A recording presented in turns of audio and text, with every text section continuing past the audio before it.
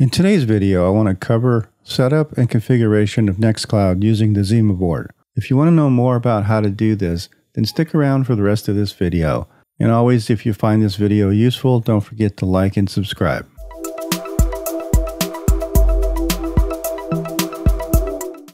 If you're planning to own a Zima board, you already know the value of the device as a one-stop solution for many things.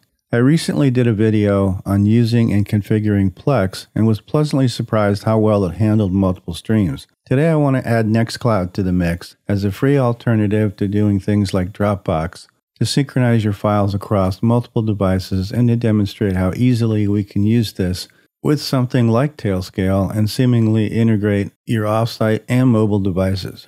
To start with, let's click on the applications and install the Nextcloud app. Once it's installed, like other Zima board and Docker applications, you have to make a couple of setting changes before we can actually launch the program. The first thing you have to think about is where you want the data and files stored.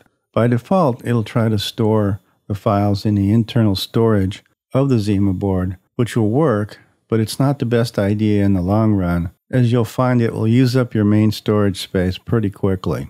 Depending on your configuration, you can either store your files on a SATA drive, a USB drive, or an existing network location. For purposes of this video, we're going to set up the program from scratch using a SATA drive, a USB drive, and a network storage location such as a NAS to cover the different options that you need to change based on your needs. Before launching, click the triple dots and select Settings. Scroll down to where it says volume. This is the only place you really need to make a change as it determines the location of the application and where the data will be stored. For the first example, we're going to use a SATA drive. Click on the gray square and let's click on the top where it says data and find your external drive. Double click on that drive and select the folder that you've already created. And if you haven't created one, go ahead and create one. Click on the folder that you want to use and, and click on select to pick that location. Remember that this is for the container and the data. One last thing you want to look at before saving is the port number that it assigned. You'll see this again when you log in, but writing it down will save you some time and aggravation and simplify things when you're setting things up on other computers. I'd recommend sticking with the default port, but it does assign a new port every time you redo the installation. But you can overwrite this and put in your own port if you prefer to do it that way. We are now ready to start the application and log in for the first time. Once you click on the icon, you'll be prompted to set up the admin account. Type the admin name and password and select install. When it's done, it'll prompt you to install the recommended apps, which you can do if you want to, but I prefer not to as I don't, really don't want all this other stuff. I just want to use the program to do file sync. When it's completed, you'll be at the main screen. If we click on the files icon in the upper left, you'll see there's a list of files and folders. It's showing the main files interface where you can actually hit the plus sign and upload files from here. There's also a bunch of default garbage that they put in here that you can delete. If we go to the account logo, we can access the administrator's options. And if we go to the system tab, here is where we can verify that we've installed and is storing the data on the correct locations. Since the Zima board only has 32 gigs of storage, and I have a one terabyte SSD attached to it, it's pretty easy to see that our configuration is working and that we are using the terabyte drive and not the internal storage.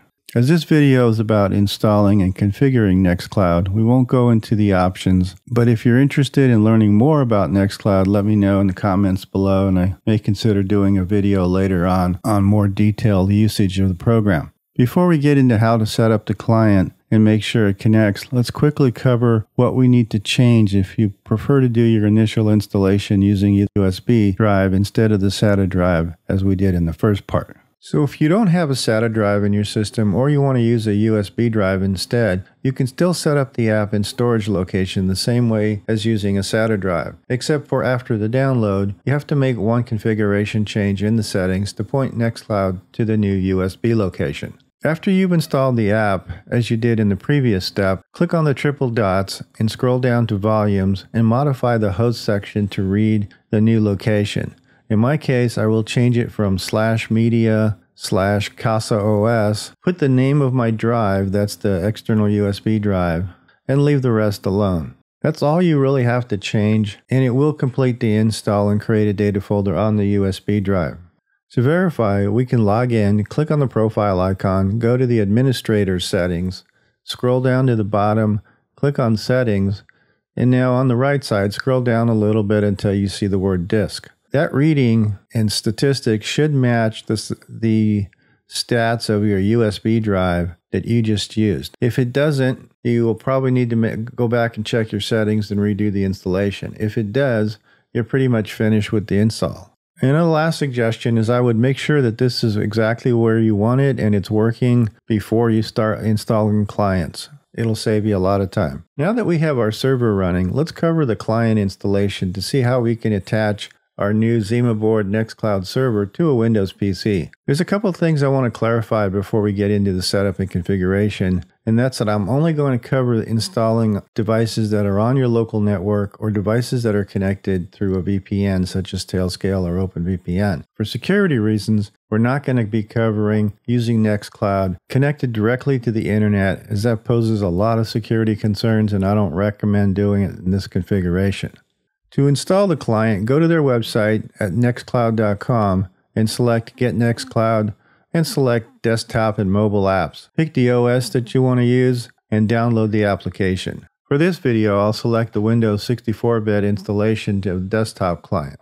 Once the install is complete, you'll be prompted to log in. Once you click on Login, the next screen, you'll need to enter the IP address and port number that you saw earlier in your initial setup. If you don't remember or you're not sure what it is, you can always go back to your ZimaBoard main screen, open up Nextcloud app, and go to the mobile and app section and copy the address that's at the bottom of the screen. Remember that we are installing local only, so we will not be using HTTPS, but rather be using HTTP. If you connect through a VPN, such as Tailscale or OpenVPN, the setup is exactly the same as a local device. The VPN will handle the secure and encrypted connections between the home device and the remote devices. I would recommend copying this IP address and the port somewhere as you'll need this for every computer that you add it to or every mobile device that you install the app on. Once you type in the IP address and port and hit next, you'll be prompted to connect to your account. Type in your username and password and grant access to the new app, and you should be good to go. You have to do this for every computer or mobile device. In the next screen, you can either accept the defaults or change the folder location and the way it syncs data my suggestion right now is to leave most of the defaults alone and only change the folder location should you want to sync or you have your data folder somewhere else.